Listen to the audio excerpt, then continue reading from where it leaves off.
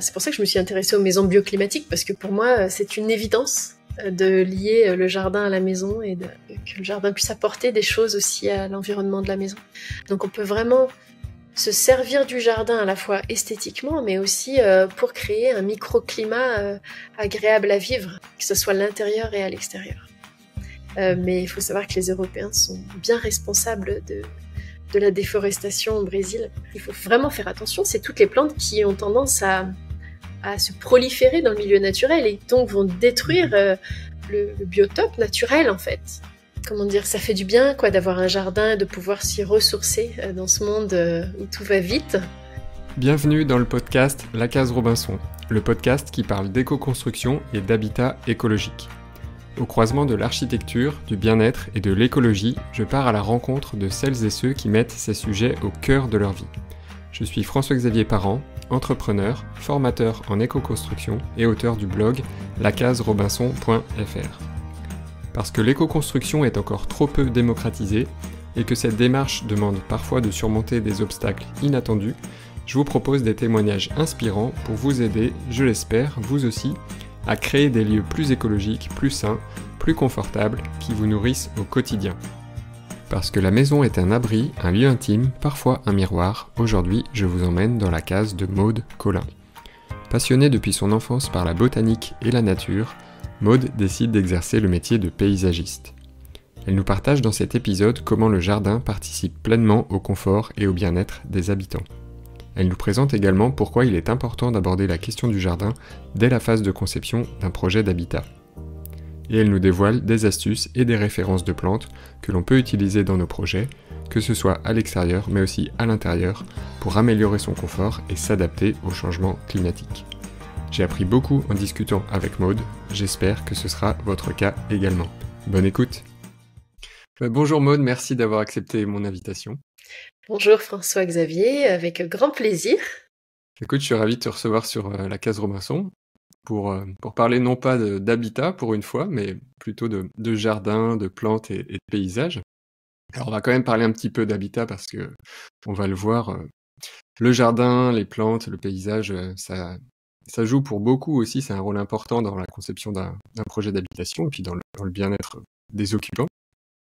Euh, donc on va voir euh, ça dans le détail. On va aussi voir qu'on n'a pas nécessairement besoin d'un jardin ni d'une terrasse pour accueillir la nature chez soi. On en parlera. Pour démarrer, est-ce que tu pourrais simplement du coup te présenter, nous dire ce que tu fais comme activité? Alors donc euh, bah, je m'appelle Maude, euh, je suis paysagiste. En fait, euh, j'ai eu une, entreprise de paysage en France pendant neuf ans. J'étais à mon compte et donc mon travail consistait à, eh bien, à, à à vendre des, des, plans de jardin et à, à, mener à bien la réalisation sur le terrain avec mes propres équipes de paysagistes. Donc euh, voilà, un travail d'artisan paysagiste classique. Et puis euh, pour des raisons personnelles, j'ai dû euh, aller vivre à l'étranger. Je vis aujourd'hui au Brésil et donc j'ai dû réinventer mon métier que j'adore. Hein. Je suis vraiment paysagiste passionnée par mon métier, par les plantes. Et et donc, ben, j'ai réinventé mon métier et aujourd'hui, donc, j'exerce ma profession de paysagiste sur les réseaux. Hein, et, ma mission aujourd'hui, je dirais que c'est de ben, d'aider les particuliers à avoir de beaux extérieurs, euh, voilà, à concevoir par eux-mêmes un joli jardin avec des, des conseils de paysagistes. Voilà, un jardin dont, dont ils sont fiers. Voilà. Excellent, ben on, va, on va développer un petit peu. Tu as toujours exercé ce métier de, paysagiste finalement, si je comprends bien. Qu'est-ce qui t'a donné envie euh, à la base de t'orienter vers, euh, vers, ce, vers ce sujet? Qu'est-ce qui, Quelles sont les expériences qui ont pu, euh, ont pu te nourrir pour te, te motiver à faire ce métier? Alors, j'ai toujours été passionnée de plantes, vraiment depuis ma tendre enfance. Je sais pas, on a tous des, plus ou moins, mais moi, c'est vraiment la, nature m'a ressourcée très vite. Euh, voilà, j'étais une enfant assez introvertie, j'étais un peu dans mon monde et je dirais que je trouvais un apaisement en, jardinant euh, très jeune. Euh, avec trois fois rien, quoi. Même j'ai habité en appartement petite, puis après en maison, mais voilà, ça a été quelque chose qui m'a attiré très très fortement. J'ai toujours aimé aussi les sciences naturelles. Enfin tout ce qui touche à, la nature. et qu'est-ce qui a fait? Bah alors j'ai voulu être au début même botaniste et comment dire, mes parents m'ont un peu, puis les professeurs m'ont un peu découragée parce qu'il y a très peu de botanistes en France et c'était pas un métier, comment dire, euh, avec beaucoup de perspectives d'embauche pour moi. Et, au final, euh, paysagiste, j'y avais bien pensé, mais c'est pareil, euh, j'étais visiter un lycée agricole et à l'époque, c'était quand même un métier plutôt pour les hommes. Et comme j'étais pas trop mauvais élève, on m'a dit, moi, tu vas quand même pas être paysagiste. Et c'était encore l'époque où paysagiste, c'était pour ceux qui arrivaient pas trop à l'école. et donc, on, m'a un petit peu, comment dire, découragé, démotivé de faire ce métier de paysagiste. Sauf que quand on a une passion, alors moi après j'ai fait des études hein, de plutôt dans le dans la gestion d'entreprise, orienté tourisme, donc euh, rien à voir. Mais très vite, euh, j'ai comment dire dans mes premiers petits boulots, euh, eu l'occasion de m'occuper de la communication, enfin vendre des, des, sites internet pour les paysagistes. Et, euh, et je me suis liée d'amitié avec un paysagiste et parce qu'il a vu aussi que j'adorais les plantes et, et il m'a embauché. En fait, je me suis, j'ai passé très peu de temps euh, dans d'autres métiers parce que en fait, quand on a une passion, elle revient un grand pas. Et j'ai et voilà, j j il m'a embauché. J'ai fait des équivalences de diplôme aussi. J'ai passé euh, le BTS paysagisme et je me suis occupée de la clientèle au début, chose que je maîtrisais avec mes études plus que lui. Et j'avais des bonnes connaissances en plantes. J'étais crédible et un goût euh, prononcé pour la décoration aussi. Puis après, j'ai appris mon métier technique sur le terrain. Euh, voilà, en travaillant. Donc c'est vrai, hein, c'est un parcours un peu atypique, mais je dirais que la passion était plus forte que tout et voilà, j'ai j'ai été formée par un paysagiste de métier qui avait une longue expérience euh, voilà, sur le terrain. Ok, merci. Ben, on va rentrer un peu dans le vif du sujet. souvent, vu en tout cas de ma position de, maître d'œuvre, de porteur de projet en, mmh rénovation écologique, en construction écologique, le jardin, c'est souvent euh, quelque chose qui, arrive après, qui est secondaire, on va dire, par rapport à, un projet de maison. Il, peut être même parfois perçu comme euh, avoir une utilité uniquement euh, esthétique. pourtant, je suis convaincu que le prendre en compte dès la conception du projet, bah, ça peut apporter beaucoup de choses au projet et à ses occupants, beaucoup de bénéfices. Est-ce que euh, tu peux, euh, de ton point de vue, euh, nous présenter bah, les, bienfaits que peut apporter un jardin bien conçu ou les plantes en général dans un projet d'habitation en termes de confort, de, bien-être?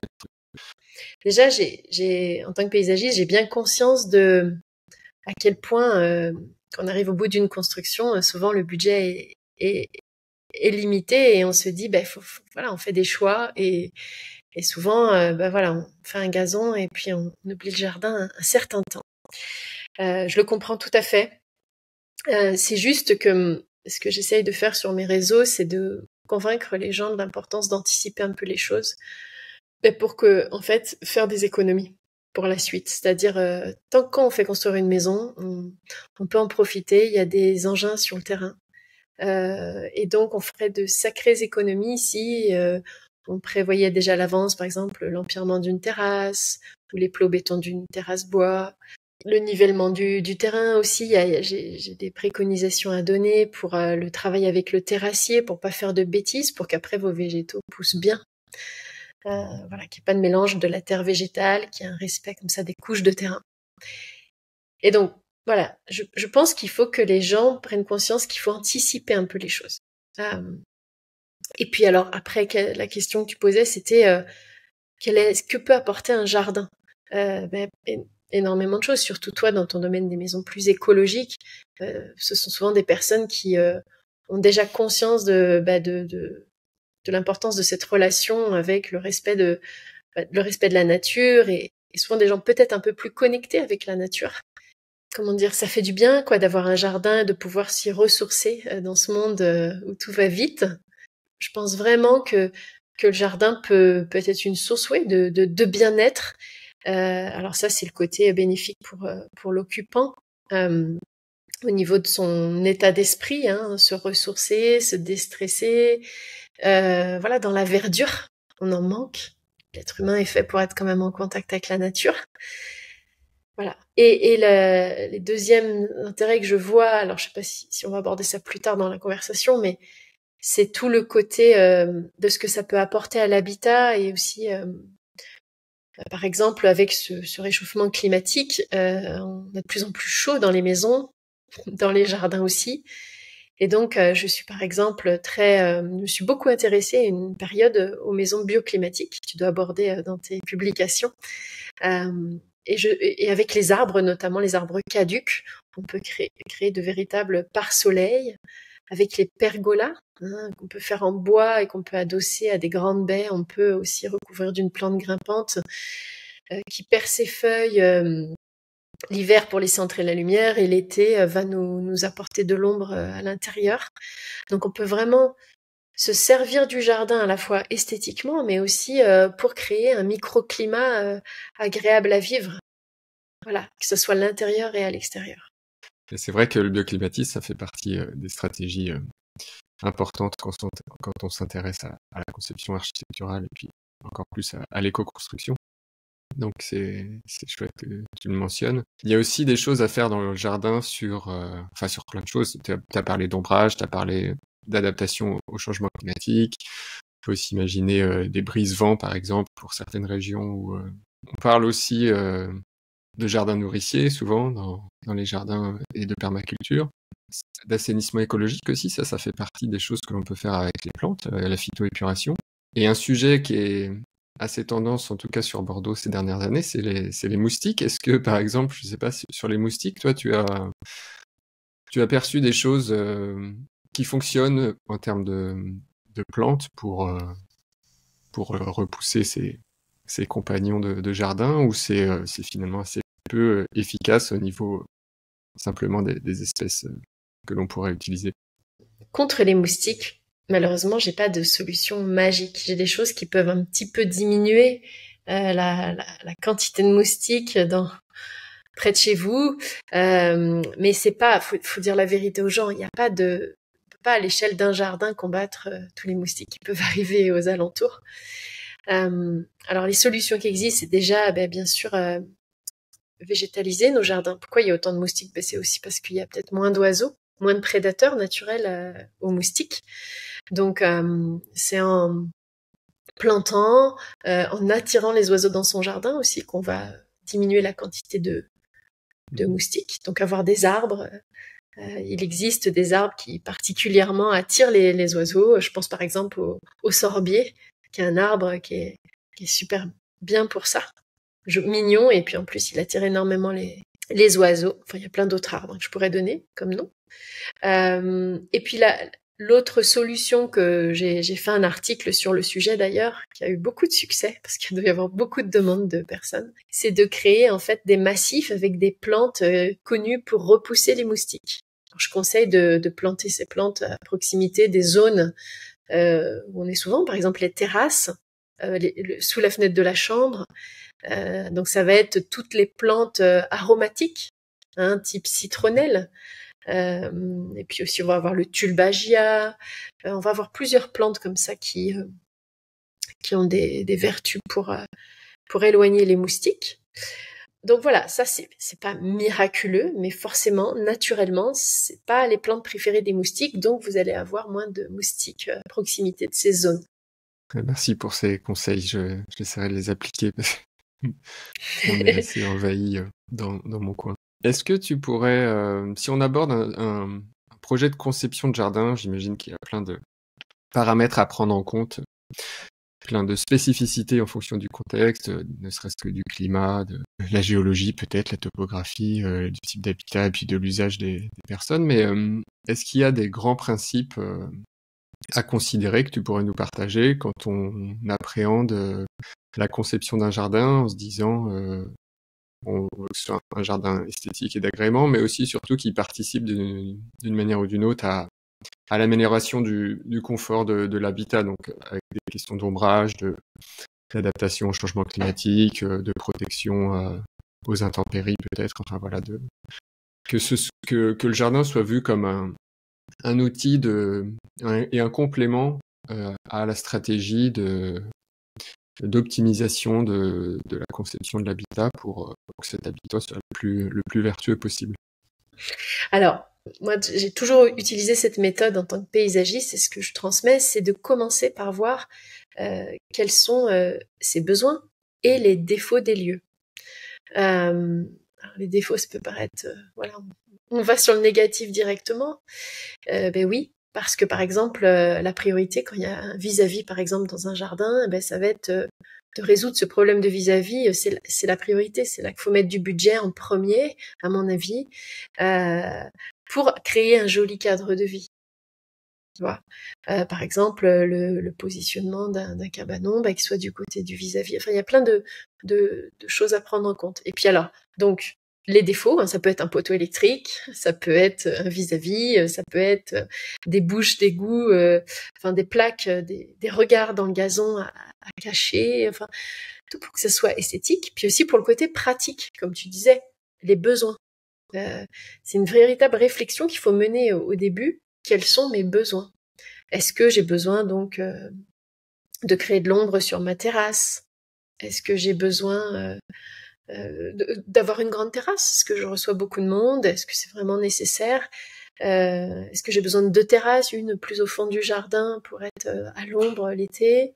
Est-ce que j'ai besoin de rangement dans mon jardin? Enfin, est-ce que je, vais avoir le temps de tondre la pelouse, d'entretenir les massifs? Quels sont mes mes besoins? Et puis voilà, on commence par ça. Donc et après, donc ça c'est ce qu'il faut faire en premier. Hein. Et puis après, le reste va découler de, de ce qu'on a commencé par faire. Parce que le problème principal des gens, c'est souvent la page blanche. Qu'est-ce que je fais dans mon jardin? Et le fait de commencer par résoudre ben, les problèmes euh, esthétiques et puis répondre à ses besoins, logiquement, en fait, de manière pragmatique, eh bien, ça donne en fait une base pour après être créatif. Parce que sinon, comme surtout un jardin tout neuf, on ne sait pas par où commencer pour que ça soit agréable à vivre. Hein, si j'ai besoin d'un potager, je le sais d'avance. Même si je le ferai pas tout de suite, je vais faire un plan où je vais le positionner. Et je vais pas le positionner n'importe où. Je vais savoir qu'un potager, il faut le mettre au soleil. Donc je vais trouver l'exposition la plus adaptée. Puis euh, je vais au moins réserver sa place dans le jardin. Ok, merci. Une dernière question sur le jardin. Tu parlais de changement climatique aussi. Alors, euh, est-ce que dans ton métier, toi déjà, c'est quelque chose que tu as vraiment euh, perçu dans l'évolution du climat et, et comment tu, euh, tu y réponds, enfin quelles sont les, les stratégies que, que l'on peut partager euh, aux personnes qui nous écoutent pour euh, concevoir un jardin qui, qui est le plus résilient possible par rapport à ce changement climatique qui du coup ne permet pas vraiment de d'avoir une idée fixe sur peut-être les plantes qu'il faut utiliser dans, dans son jardin sur le long terme parce qu'elles seront peut-être plus, adap plus adaptées dans quelques années. Et voilà, du coup, par rapport à ce sujet de, de, de changement, quelle serait la stratégie euh? J'ai vu des changements, euh, mais ils sont petits. Il faudrait plus euh, demander à un grand-père paysagiste. Enfin, j'ai eu les retours des, des, paysagistes plus âgés que moi sur l'évolution aussi de, de la demande. Mais moi, ce que j'ai déjà quand même bien perçu à mon échelle, j'ai quand même exercé euh, 9 ans sur le terrain en, en France en tant que paysagiste. Et au début, euh, j'ai toujours eu cette conscience écologique, par exemple, de ne pas utiliser de pesticides dans les jardins ou le moins possible. Et, et j'ai vu que c'était de plus en plus facile de, de convaincre mes clients euh, vers la fin de ma carrière plutôt qu'au début. Euh, mmh. C'était même une évidence et j'ai aimé voir ça. Euh, il faut être positif de voir ce côté-là. Il y a vraiment eu un très grand changement d'état d'esprit euh, les particuliers avant ils mettaient du glyphosate hein, dans les allées euh, pour pas avoir de mauvaises herbes. Et aujourd'hui c'est quelque chose qui est, que eux-mêmes euh, disent ah, je veux surtout pas ça quoi. Et ça ça m'a fait plaisir de, de, voir cette évolution. Euh, il y a vraiment eu un retour du potager au jardin euh, du potager, j'appellerais ça du potager pour la majorité des gens, euh, du potager citadin. Pas forcément les grandes cultures euh, de pommes de terre non plus finir, mais il y a vraiment eu un attrait pour avoir quelques jolis pieds de tomates avec des bonnes tomates de, chez nous qui, ont du goût.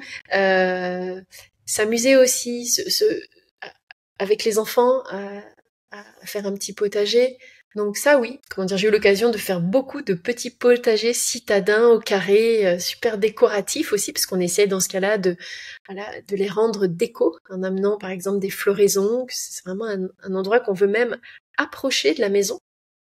Euh, alors qu'avant, dans l'ancien temps, les potagers, c'était ce qu'on mettait au fond du jardin. J'ai vu bien sûr la demande de plus en plus de jardins, euh, de jardins secs avec des plantes qui résistent mieux euh, donc à la sécheresse, ça c'est évident. Là-dessus, par exemple, l'arrivée euh, plus, de graminées, euh, les graminées qui avant pouvaient être comment trouver un peu trop sauvages pour certaines personnes. Là, les, gens sont plus sensibles à la beauté esthétique des graminées, dont le feuillage jaunit en hiver, mais mais ça reste esthétique, ça apporte de la couleur. Enfin, ça c'est voilà le miscanthus notamment qui est d'ailleurs beaucoup utilisé euh, euh, dans toutes les bah, dans tout ce qui est écologique parce que le miscanthus on en fait du paillage. Alors voilà le paillage dans les jardins a énormément euh, augmenté, donc de mettre des copeaux de bois sur le sol mmh au lieu de mettre des bâches en plastique. Voilà. Ça, c'est clair que c'est quelque chose que, qui est non seulement pas esthétique, mais pas du tout écologique.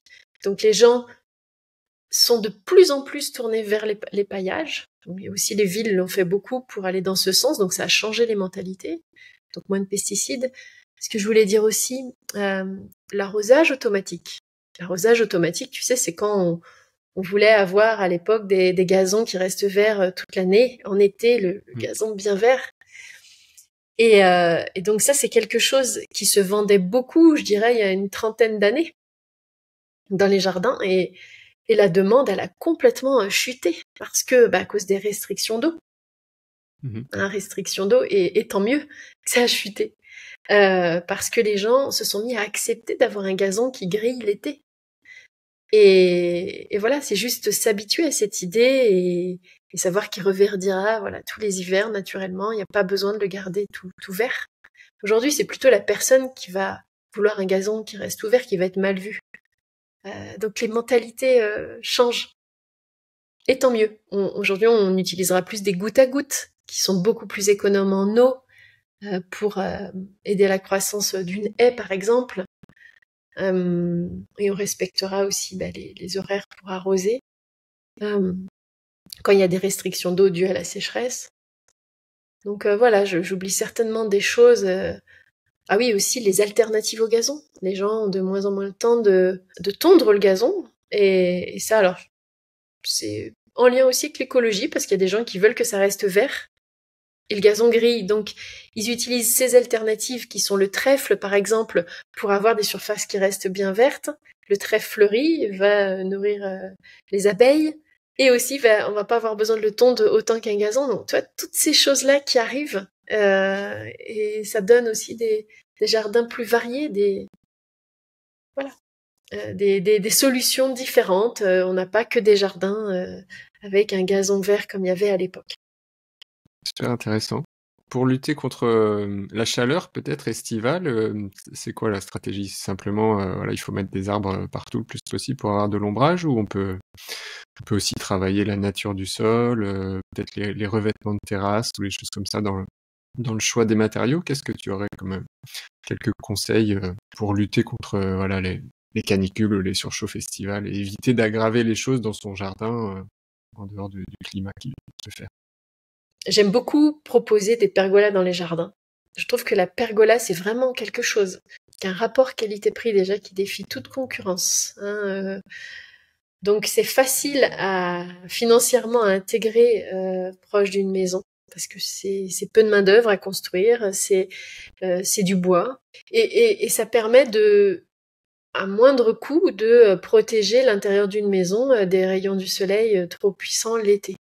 Hein, donc je parle de pergola bois, je parle pas de toutes ces pergolas bioclimatiques. Euh, je sais pas si tu vois ce que c'est, qui sont très à la mode, qui sont en alu, mais qui coûtent extrêmement cher. Il n'y a pas besoin d'aller jusque là une jolie pergola bois euh, bien intégrée, euh, bah, ça habille une maison, c'est esthétique, ça apporte vraiment beaucoup de fraîcheur et de bien-être. Qu'est-ce qu'on peut faire Eh bien, on peut rapprocher un petit peu les arbres aussi de notre maison. Il existe des arbres à petit développement qu'on peut planter euh, proche d'une terrasse. Et donc là, ben, ça permet de profiter de la, fraîcheur euh, sans avoir besoin.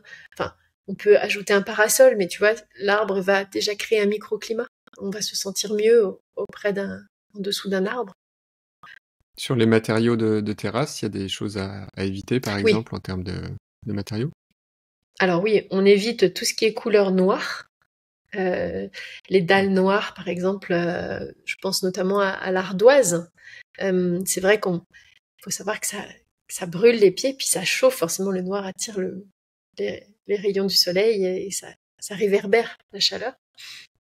Donc on va éviter ça. On va plutôt euh, privilégier des terrasses de couleur euh, claire, euh, gris clair, beige, mais beige pas trop clair non plus pour pas se faire mal avec les, rayons du soleil. Enfin, la lumière mmh. est trop forte parfois d'une terrasse qui est trop claire, trop blanche. et puis ce qui plaît beaucoup, ce sont les terrasses bois. On a les terrasses bois en pin, on a les terrasses bois exotiques. Et c'est vrai que les terrasses bois exotiques sont jolies, mais ont de moins en moins la cote, et aussi heureusement. Je pourrais vous en parler longuement en vivant au Brésil à cause de la déforestation. Euh, mais il faut savoir que les Européens sont bien responsables de, de la déforestation au Brésil, euh, parce que faut savoir que les terrasses bois sont, on en fait beaucoup plus en Europe qu'au Brésil même, parce que les, les, les marchands de bois brésiliens, qui sont plus ou moins illégaux parfois, euh, gagnent plus d'argent à revendre euh, aux pays européens euh, leur, leur IP ou leur autre bois exotique. Donc en fait, c'est les Européens qui sont principalement responsables. Je veux pas culpabiliser tous ceux qui n'étaient pas au courant, qui investissent dans des terrasses en bois exotique, hein, mais aujourd'hui, je dirais que, enfin, je déconseillerais à beaucoup de personnes d'opter pour des terrasses en bois exotique. J'ai changé mon discours par rapport à ça. J'ai vraiment été sensibilisée en vivant ici et en me rendant compte euh, bah, de ce qu'on faisait et de notre responsabilité. Euh, alors donc, ce qui est le plus écologique, parce que c'est ce que me demandent certainement les, personnes qui, veulent faire des terrasses bois, bah, c'est d'utiliser le pain. Le pain qui est traité. Alors, euh, on n'a pas le choix en Europe. Il est traité. Il a un traitement autoclave mais euh, malgré son traitement, on n'a pas le choix, sinon il va pourrir s'il n'est pas traité. Il va mm. pourrir en, en quelques mois. Donc il faut mm. mieux partir sur cette option-là, qui au final sera plus écologique euh, que d'importer du bois euh, exotique non traité, euh, qui est plus durable, mais qui vraiment fait beaucoup de mal opter pour ça ou opter euh, pour euh, des, des, des, pierres, mais des pierres si possible de nos régions, au moins européennes, mm. de provenance européenne. Euh, mm. mais c'est vrai qu'on n'a pas beaucoup de choix. On n'a pas beaucoup de choix. On parlait tout à l'heure, par exemple, d'éviter les terrasses noires. Ben, L'ardoise, qui est de provenance généralement euh, portugaise ou espagnole, euh, c'est une source de, de pierre naturelle, mais qui chauffe au soleil. Euh, le granit français coûte extrêmement cher. Alors on a dans certaines régions de France certaines pierres quand même qu'on arrive à extraire. je dirais essayer de trouver une provenance euh, continent européen ou terrasse bois euh, en pin. Et sachant qu'il y a une durée de vie à peu près, je dirais, de 15 ans hein, sur un pain traité. C'est ce qu'il y aura de plus écologique en revêtement de sol. Et puis des gravillons sinon. Des gravillons. Euh, on a plein de, alors c'est drainant de faire euh, alors des terrasses, on aime plus ou moins hein, des terrasses en gravillon, mais on peut faire des terrasses euh, en gravillon si elles sont bien faites. On va, ça sera agréable à vivre, on va pas s'enfoncer pour autant. Donc le gravillon c'est la meilleure solution à mon avis, la plus écologique pour les allées, hein, les allées de mmh. jardin et les pas japonais.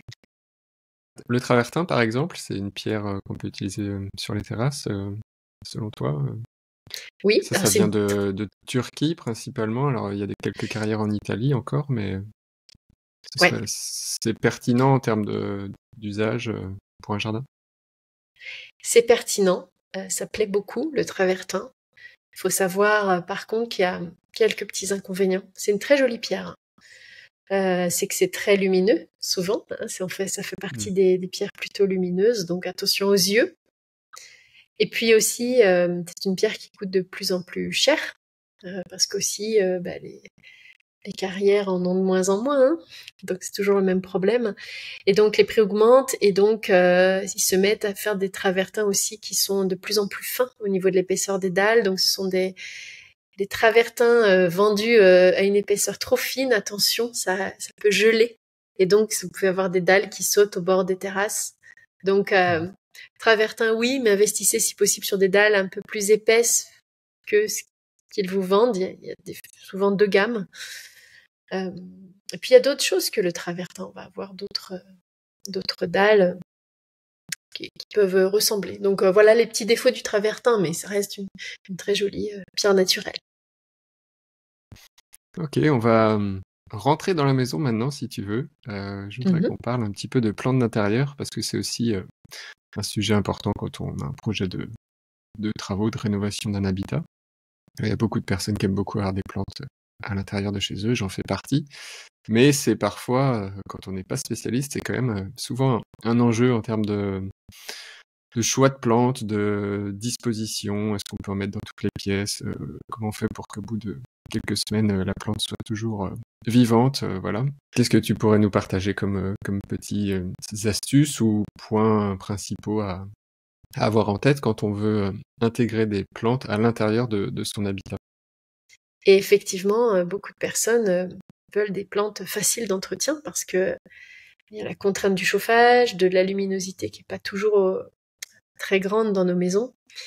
Et puis, on veut partir en vacances, on veut pouvoir s'absenter sans devenir, sans stresser de comment on va retrouver ces plantes au retour. Donc, pas mal de contraintes. Et puis alors, l'autre besoin des personnes veulent des plantes originales qui changent de ce qu'on voit partout. Donc, euh, je me suis dit, mais euh, en fait, les gens, ils veulent de l'originalité, mais ils se rendent pas compte de que les plantes les plus faciles d'entretien, c'est souvent euh, bah, celles qu'on trouve habituellement. C'est pour ça qu'elles sont autant vendues. Euh, et c'est pas toujours les plus, comment dire, originales. Mais j'ai fait un grand effort pour essayer de d'expliquer et de, de démontrer qu'il était possible d'amener de l'originalité malgré tout avec des plantes qui sont connues pour être résistantes dans nos intérieurs. Et tout cela en, sachant bien assortir, par exemple, les pots avec les plantes. Créer des compositions originales, en par exemple euh, plantant une, plante euh, assez euh, commune qu'on trouve en jardinerie, avec au pied une autre plante qui va retomber. Et, et, cela dans un pot qui va changer de, de ce que du pot banal que tout le monde va mettre euh, dans son salon, un pot blanc avec une forme classique ou un pot noir, tu vois. Euh. Mhm. Et aujourd'hui, on a plein de choix de pots, euh, beaucoup plus que de choix de, de, plantes. Il y a quand même quelques variétés de plantes qui sont peu connues, qui sont résistantes, que je, je conseille, qui sont faciles d'entretien, parce que c'est vraiment ça, les gens veulent des choses faciles à réussir, qui va donner du bon résultat chez eux. Il y a des solutions pour vraiment faire de très belles décorations à l'intérieur. Je pense aux lianes, par exemple, les personnes qui aiment avoir euh, des choses qui changent euh, euh, avec des potos. Je sais pas si tu connais le potos, c'est une plante assez banale, une plante liane, mais on peut faire des super compositions. par exemple,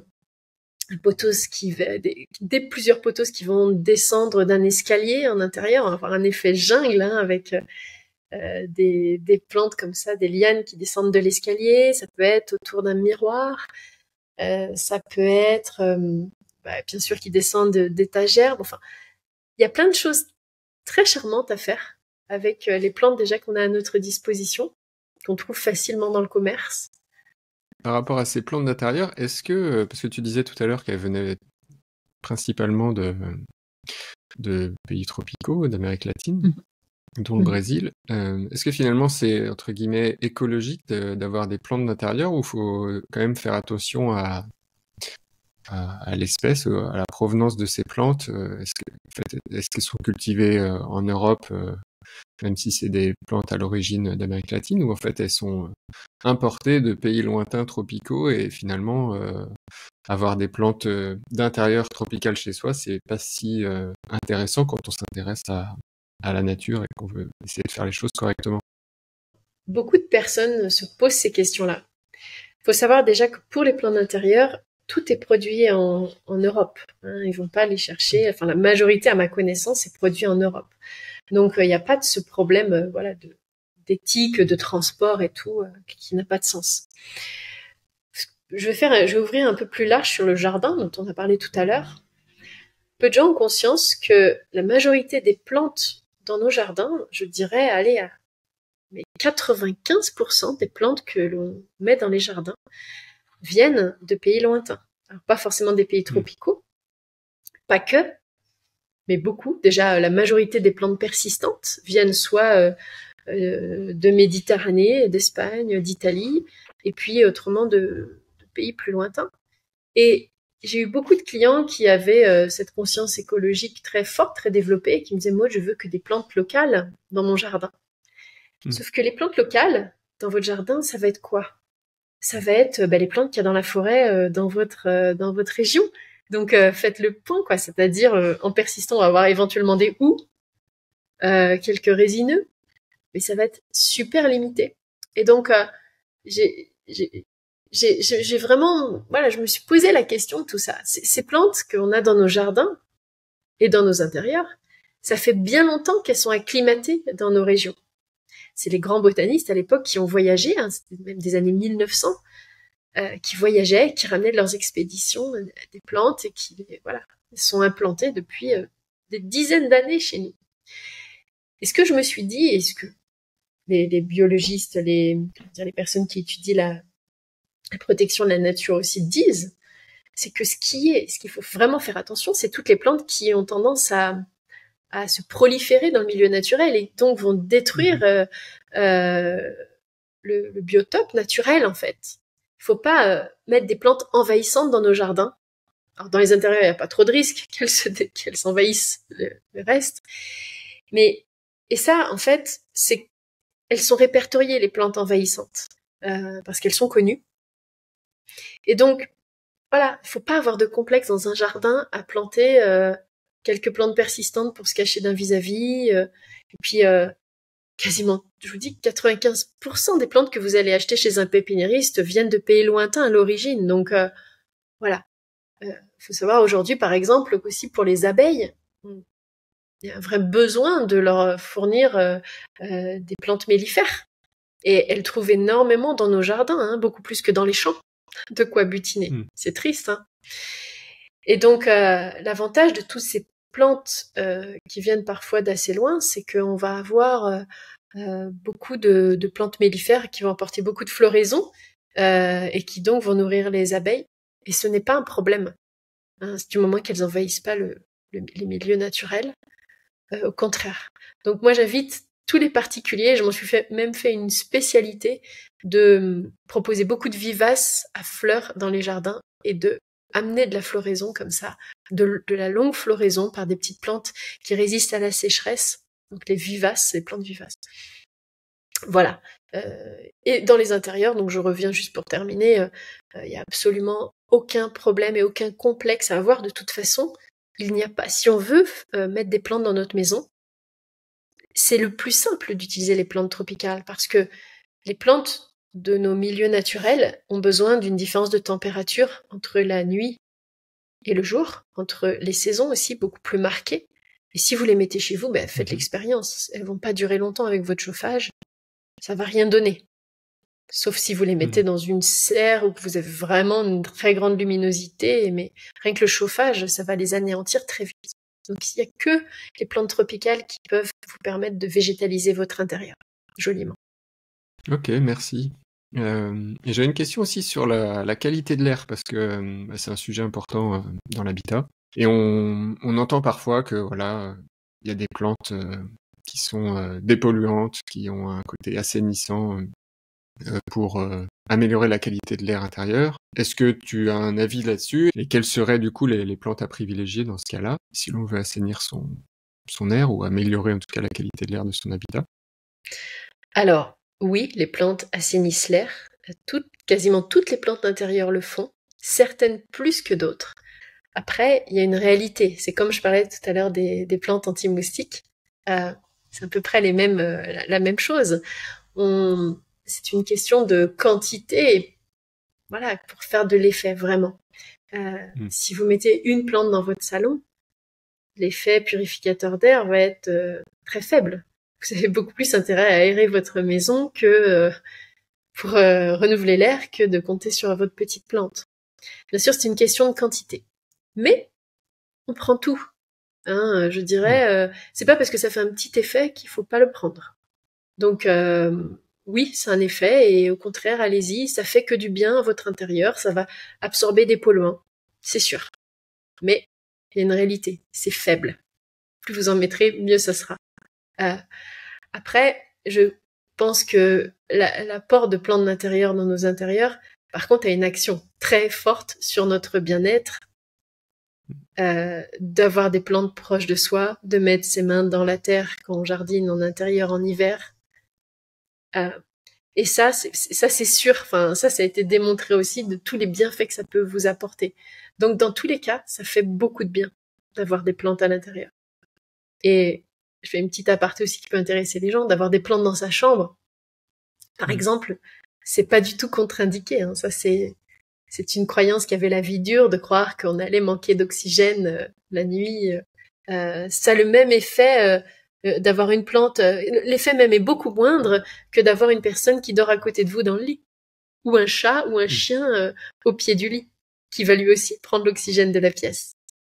Donc l'effet est moindre par rapport à un être vivant, je dirais un humain ou un animal très proche de vous. Donc allez-y sans complexe sans complexe. Il n'y a aucun risque de, manquer d'oxygène.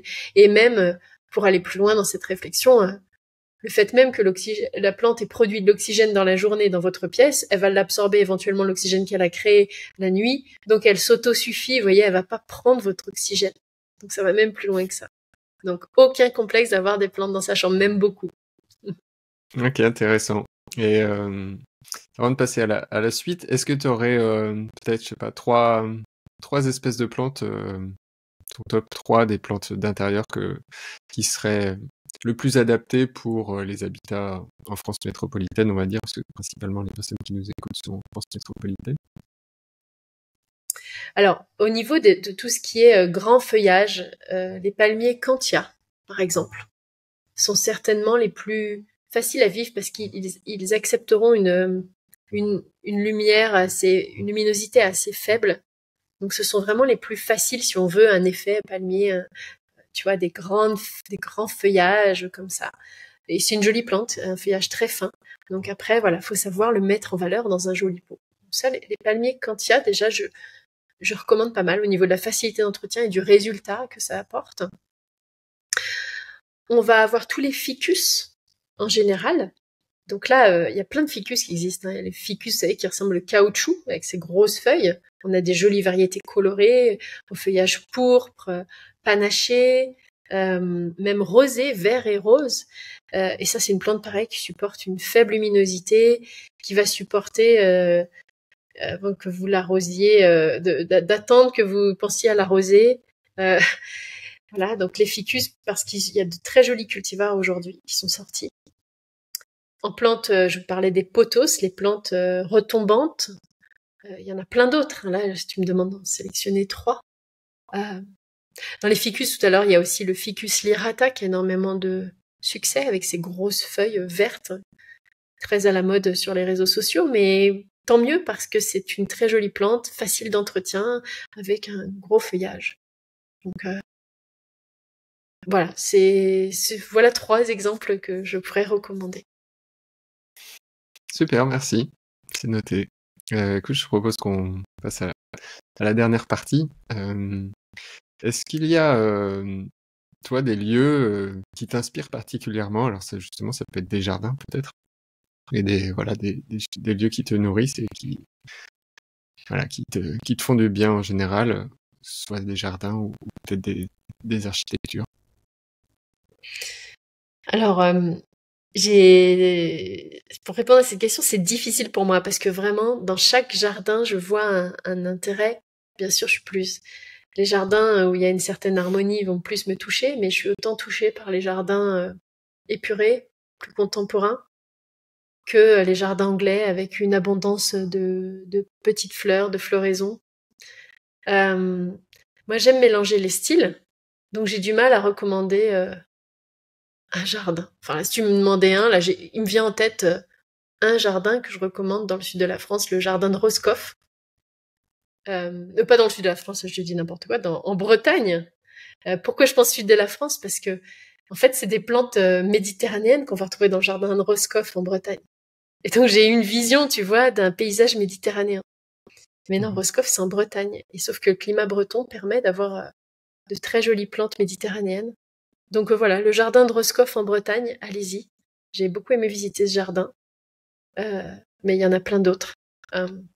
Euh, de tout style. Allez à, l'ouverture des jardins de, France. vous savez, a, je sais plus à quelle date, il faudrait regarder sur Internet, mais quand ils ouvrent la prochaine fois. mais les jardins de France à visiter, c'est vraiment chouette. Ça, c'est quelque chose à faire pour euh, voilà s'emplir de, beauté, euh, d'harmonie, de jardins qui sont absolument merveilleux. Euh, ne serait-ce qu'en France, hein, on n'a pas besoin d'aller très loin. Ici au Brésil, il y a des, des, très beaux jardins exotiques aussi, donc je fais mes visites. voilà. Quand on voyage, n'hésitez pas à aller voir des jardins botaniques. Ah, génial, c'est une, bonne idée. Mmh Merci. Et il y a une question que je pose à tous les invités, c'est euh, à quoi ressemblerait pour euh, toi ta maison euh, idéale? Est-ce que tu as, déjà réfléchi à ça? Peut-être que c'est la maison que tu habites aujourd'hui, mais qu'est-ce que quelles seraient les grandes thématiques, les grands points qui, que tu choisirais toi dans ta maison idéale si tout était possible? Alors, si j'y ai déjà pensé parce que j'aime beaucoup l'architecture je rêve de faire construire une maison. Je l'ai pas encore fait. Là, je, voilà, je pas, j'habite en maison, mais c'est pas la mienne pour le moment. Euh, et donc, j'ai déjà une vision assez, j'ai déjà fait des plans, tu vois, j'adore, j'adore ça, créer des, mmh. des, plans de maison aussi bien que des plans de jardin. Hein. c'est, lié, c'est très lié.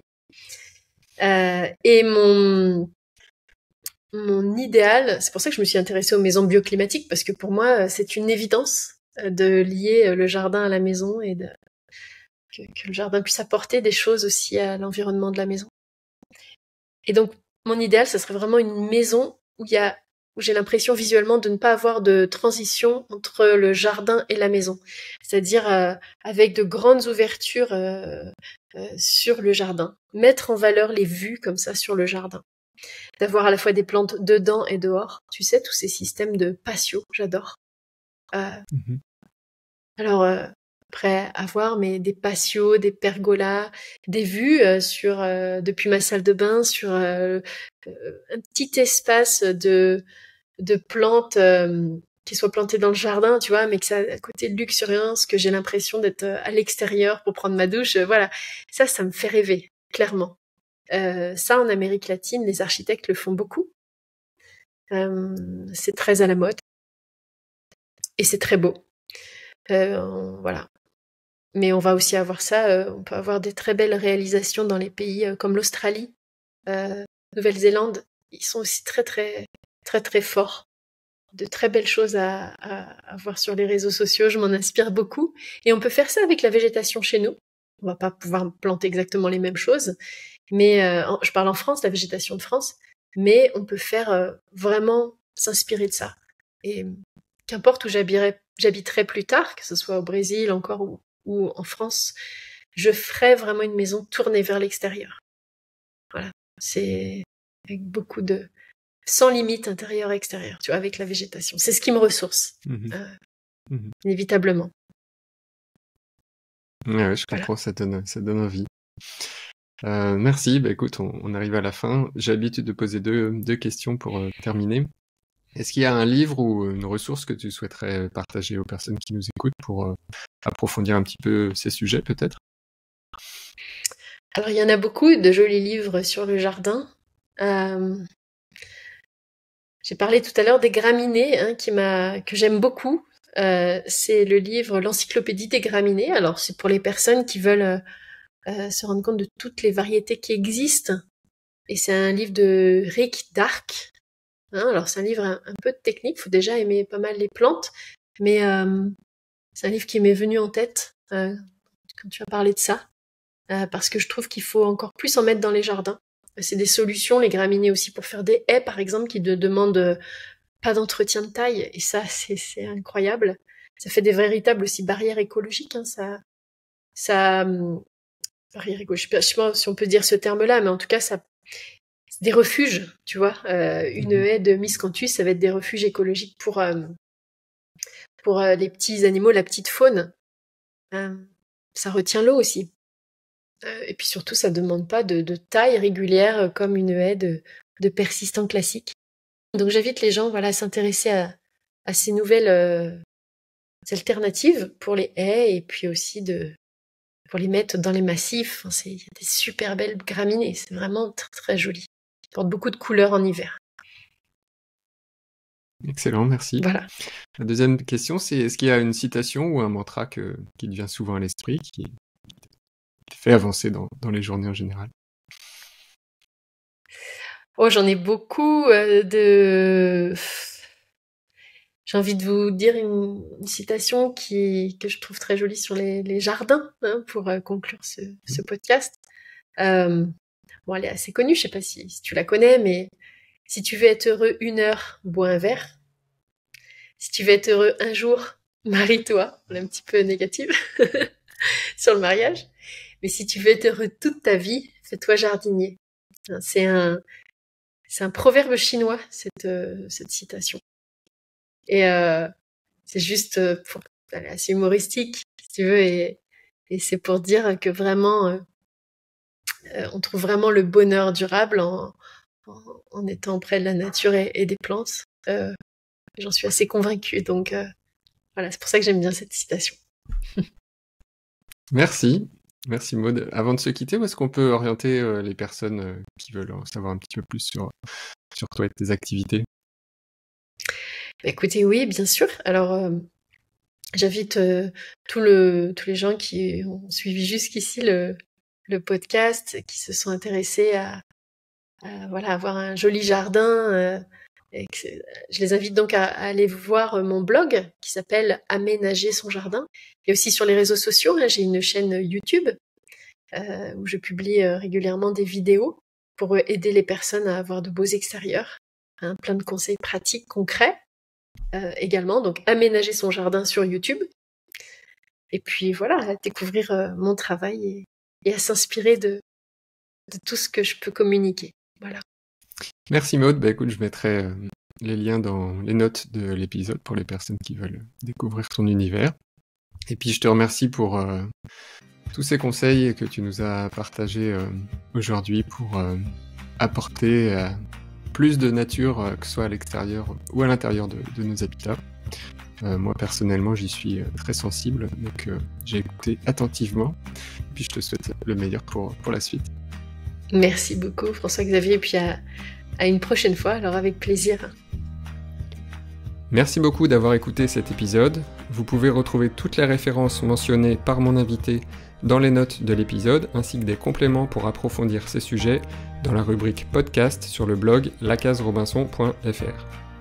Si cet épisode vous a plu, vous pouvez le soutenir en le partageant autour de vous, en vous abonnant et en mettant un avis 5 étoiles sur votre plateforme d'écoute. Ça me fera très plaisir et ça permettra au podcast d'être plus visible pour m'aider à accueillir de nouveaux invités. Si vous voulez aller plus loin dans vos projets de création d'habitats plus écologiques, plus sains et qui vous inspirent, sachez que c'est mon métier de vous y aider. Je propose différentes formules d'accompagnement, du coaching à la formation en ligne, et je suis sûr qu'une d'entre elles est faite pour vous. Si malgré tout vous n'y trouvez pas la formule qui vous parle, contactez-moi pour que nous puissions créer ensemble l'accompagnement idéal qui vous aidera à concrétiser vos projets. Vous retrouverez toutes les informations sur le site de la Case Robinson dans la rubrique Accompagnement lacaserobinson.fr slash programme au pluriel accompagnement. Sur ce, n'oubliez pas de vous abonner, de partager cet épisode autour de vous, et je vous dis à très vite pour une nouvelle conversation sur la case Robinson.